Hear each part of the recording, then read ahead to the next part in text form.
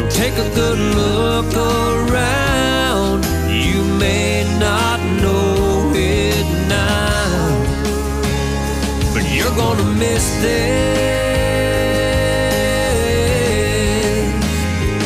Five years later, there's a plumber